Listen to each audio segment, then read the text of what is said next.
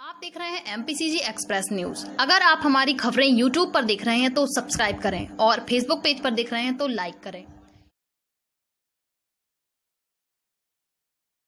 बुंदेली महोत्सव का मंगलवार की शाम से होगा आगाज़, तैयारियाँ हुई पूरी। स्थानीय प्रियदर्शनी खेल मैदान में बड़ा मलहरा बुंदेली महोत्सव की तैयारियाँ पूरी हो गई है,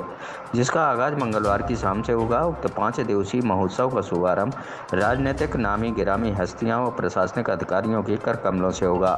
विलुप्त हो रही बुंदेली विरासत को राष्ट्रीय व अंतर्राष्ट्रीय पटल पर पहचान दिलाने के लिए उक्त पाँच दिवसीय कार्यक्रम का आयोजन नगर में पहली बार क्षेत्रीय विधायक कुंवर प्रदुम सिंह लोधी के प्रयासों से नगर परिषद बड़ा मलहरा द्वारा शिवाजी खेलकूद उत्थान समिति के संयोजन में हो रहा है, जिसका शुभारंभ ज़िले के प्रभारी मंत्री ओम प्रकाश अखलेजा जी, चंदा विधायक राजेश प्रजापति, बिजार विधायक राजेश बबलू शुक्ला, जिला collector Sandeep GR, DIG Vivek Raj Singh व पुलिस कप्तान सचिन शर्मा,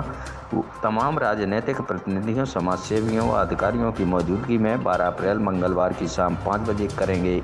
जिसकी तैयारियाँ चरम पर अंतिम चरण में हैं।